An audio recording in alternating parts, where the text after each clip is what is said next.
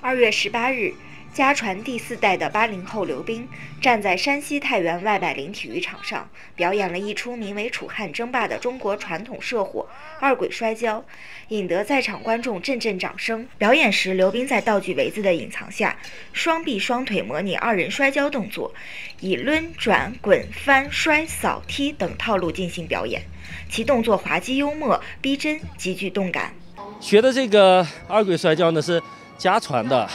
我姥爷这边吧，就开始表演这个二鬼摔跤，因为这个是一个人表演两个人嘛，他需要一一些技巧上的一些动作吧，比如说绊呀、脚呀、翻呀这些，觉得这个挺有意思。二鬼摔跤又称二娃摔跤、二喜摔跤，是一人背驮二鬼，傀儡道具进行表演的汉族民间舞蹈形式。活跃于山西太原小店区一带，是节日、庆典、祈雨、丰收等民间喜庆、祈祷、祭祀活动中重要组成部分，深受广大民众喜爱。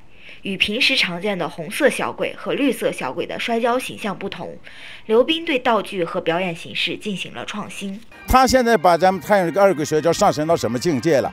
啊，就是这个整个变了一下形啊，两个角色互相。那原来咱们那个种二鬼摔跤，那那鬼绿头发，反正我感觉人们有的还 有点啊，不是不是太太太雅。这个大整个把二鬼二鬼摔跤提升了个高度。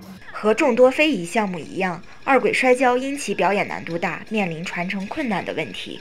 膝盖呀，还这个胳膊肘呀这些地方挨地容易出破，因为有挺多翻滚的这些动作。所以像很多人吧，呃，受不了这个苦，不爱学这个。我觉得还是，呃，让应该让大家体验体验这个二鬼摔跤。这个项目呢，很稀缺，能够太原市来，来来做这种非遗表演的二鬼摔跤的，有个两三个人了。所以说，是一个非非常濒危的一个项目。我们下一步也是想发扬这个项目了。